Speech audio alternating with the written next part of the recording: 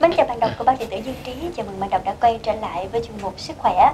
Bạn đọc thân mến, dịch bệnh corona hay là dịch bệnh ờ, viêm phổi cấp uh, gây ra bởi bị nhiễm virus nCoV đang gây ra rất là nhiều những cái lo lắng cũng như là sự quan tâm của mọi người, không chỉ ở Việt Nam mà trên toàn thế giới. Uh, nhưng mà với góc nhìn chuyên môn thì dịch bệnh này nguy hiểm đến mức độ nào để mà chúng ta có thể biết cũng như là phòng tránh và bảo vệ bản thân. Thì ngày hôm nay uh, chuyên mục Sức khỏe của điện tử Dân Trí đã đến bệnh viện Đại học Y Dược Thành phố Hồ Chí Minh để cùng gặp gỡ với tiến sĩ bác sĩ Nguyễn Như Vinh là trưởng khoa thăm dò chức năng hô hấp để cùng nghe bác sĩ chia sẻ nhiều hơn về vấn đề này. Mến chào bác sĩ ạ. À. Dạ, chào Như Vinh, chào xin chào quý khán giả đang xem đài báo dân trí điện tử. À, bác sĩ ơi ngoài cái việc uh, nguy hiểm của virus uh, nCoV ừ. uh, thì uh, Như Quỳnh cũng muốn hỏi bác sĩ thêm một vấn đề nữa đó chính là về cái uh, cái cái bệnh này uh, cái dịch bệnh này thì nó có những cái đường lây truyền như thế nào à. và có cái sự khác nhau gì ừ. giữa các đối tượng lây truyền ví dụ như là có sự khác nhau gì uh, về các độ tuổi ừ. các thành phần hay là giới tính hay không ạ? Đúng là người dân của mình đang quan tâm rất là lớn. Dạ. bởi vì đọc rất là nhiều thông tin. Dạ. thấy rằng uh, ngoài cái đường hô hấp rồi có thể lây qua đường uh, tiêu hóa hay một số đường khác có những cái thông tin họ đưa ra mà cũng chưa được kiểm chứng và chưa có một cái bằng chứng gì là ủng hộ cái gọi là cái thông tin của họ hết cho tới bây giờ thì thật ra cái con virus này nó cũng mới nhưng mà người ta thấy rằng nó cũng thuộc cái nhóm corona cho nên người ta dựa vào những cái bằng chứng trước đây của những con corona trước đồng thời người ta nghiên cứu là ở trong quá trình cả tháng này dịch nó vậy xảy ra như thế thì người ta thấy rằng cái đường lây truyền chủ yếu là cái đường hô hấp. Và trong đường hô hấp thì nó cũng có một vài cái khái niệm nữa. Ví dụ như là hô hấp mình tiếp xúc gần mình bị những cái giọt bắn nó bắn vào trong người mình. Giọt bắn nó rớt xuống những cái bề mặt ví dụ bàn ghế quần áo chúng ta chạm tay vào rồi chúng ta đưa lên cái đường à, gọi là cái niêm mạc đường hấp của mình như là mũi như là miệng hay là mắt. À, thì vi trùng nó xâm nhập vào đó nó gây ra bệnh. Thì đó là những cái, cái cơ chế lây truyền qua đường hô hấp mà kiểu là kiểu giọt bắn. Nhưng mà cũng có người nói rằng là nếu mà chúng ta hắt hơi rồi ho nói chuyện lớn tiếng ngoài cái giọt mà lớn lớn đó có những cái giọt rất là nhỏ có thể bay lơ lửng ở trong không khí. À, nó gọi là gọi là bụi khí đó. Thì người ta thấy rằng cái cái có nhiều cái con virus nó lây qua kiểu bụi khí đó.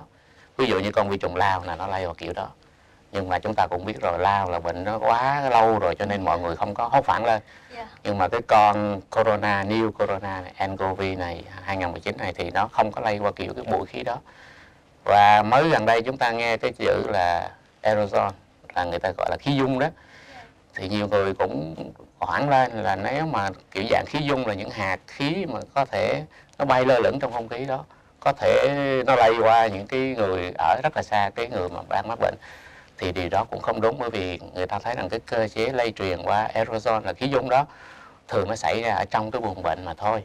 Khi mà người bệnh vì à, được can thiệp bằng những cái máy phun khí dung để điều trị bệnh cho họ chẳng hạn, hoặc là người ta phải thở máy, hoặc là người ta làm một số cái thủ thuật, ví dụ như hút đàm vân vân, thì nó cũng tạo ra những cái hạt rất là nhỏ bay lơ lửng ở trong cái không gian của cái phòng bệnh đó thôi.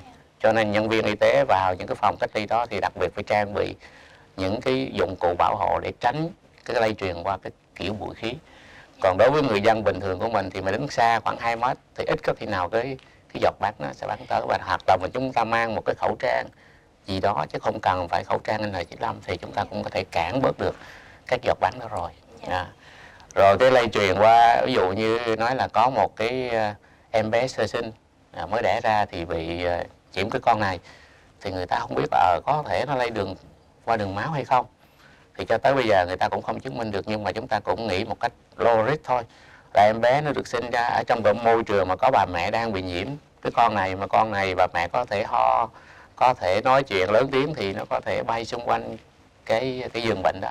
Thì cũng có thể lây qua đường hô hấp cho em bé. Bởi vì lúc đó em bé sinh ra không thể nào mà đeo khẩu trang cho em bé được rồi còn đường mà lây qua uh, đường phân miệng có nghĩa là từ đường tiêu hóa nó ra ngoài môi trường qua phân rồi mình bị cái gì đó mình nhiễm phân đưa vào lên miệng của mình. À, có nhiều cái cơ chế ví dụ như bệnh tả là chẳng hạn có thể lây cái truyền qua đó nhưng mà cái bệnh này người ta chưa thấy có một cái bằng chứng rõ ràng. Cho nên tạm thời cho tới thời điểm này những gì mà khoa học uh, có được bằng chứng thấy rằng corona cái loại mới này nó lây truyền qua đường hô hấp mà theo kiểu giọt bắn cho nên chúng ta chỉ có những cái phương cách bảo vệ để ngăn ngừa những giọt bắn nó có thể bắn trực tiếp hoặc là gián tiếp qua cái đầu tay của chúng ta là đủ rồi. Yeah. Dạ. à, vậy thì có cái sự khác Ừ. biệt gì về cái thành phần ờ, các đối tượng bị À, lây nhiễm hay dạ. không thưa bác sĩ thì nói về à, cái à, nguy cơ á, thì nó có hai cái nguy cơ Dạ. cái nguy cơ bị nhiễm và cái nguy cơ mắc bệnh à, thì tất cả những bệnh lý mà gọi là lây truyền à, đều thì mọi người đứng gần cái môi trường đó đều có nguy cơ nhiễm giống nhau hết. Từ lớn tới nhỏ từ khỏe tới mạnh. À, từ yếu già gì cái nguy cơ mình đứng gần là đều có nhiễm hết. Nhưng mà khi một cái tác nhân gây bệnh nó nhiễm vào trong người mình nó có gây ra bệnh hay không như lúc nãy vừa trình bày nó tùy thuộc vào cái sức đề kháng của mình hoặc là tùy thuộc vào cái cái nồng độ của con virus nồng độ của con vi trùng mà chúng ta hít vào nhiều hay ít. Ví dụ như trong một cái môi trường mà người ta gọi là thông thoáng cái mật độ, cái mầm bệnh trong đó nó rất là là thưa. Thì mình hít vào đôi khi nó không gây ra bệnh. Nhưng mà trong cái môi trường mà cái mầm bệnh nó đồng gọi là, cao, đậm đặc ở trong đó, ví dụ như trong cái phòng cách ly chẳng hạn, mình đi vào mình không đeo khẩu trang gì hết, chắc chắn mình hít vào cái lượng virus vi trùng nó vô trong người mình rất là nhiều, thì cái khả năng gây bệnh cao hơn.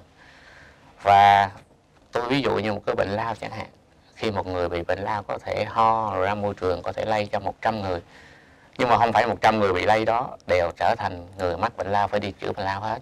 Mà khoảng chỉ khoảng 10% có thể là phát triển thành bệnh lao, còn 90% là những người có thể khỏe mạnh, không có gì hết. Và những một số người gọi là nhiễm lao.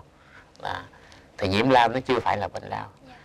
Tương tự như corona, người ta không biết là 100 người bị nhiễm thì không không biết bao nhiêu phần trăm những người sẽ bị bệnh.